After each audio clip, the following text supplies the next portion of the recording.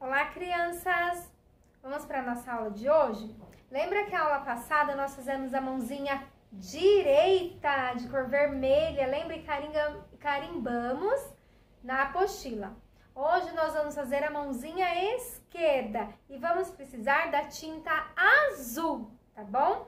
Mas antes de fazer essa atividade, nós vamos cantar a musiquinha que nós aprendemos. Lembra que é igual parabéns para você, mas com outra letrinha. Então vamos lá. Palminhas, palminhas, nós vamos bater. Depois as mãozinhas para trás esconder.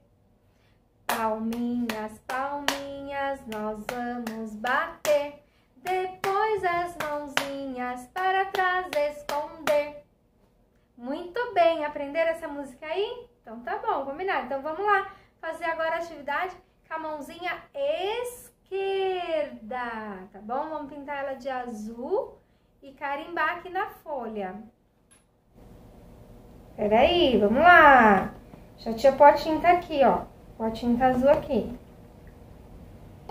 Aí, ó, vou espalhar aqui no meu, na minha mão, ó. Espalhar, espalhar, espalhar para poder carimbar. Espalha, espalha, espalha para poder carimbar. A mãozinha esquerda.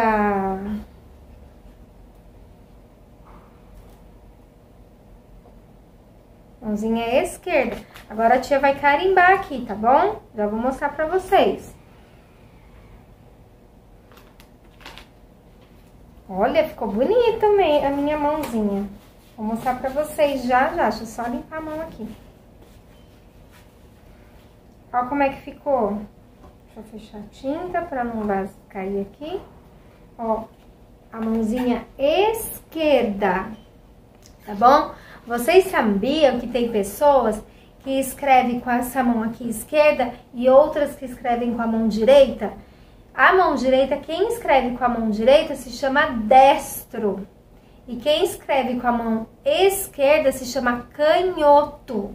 Então, tem pessoas e crianças que têm mais habilidades com a mão direita e outras com a mão esquerda. É uma curiosidade sobre as mãozinhas.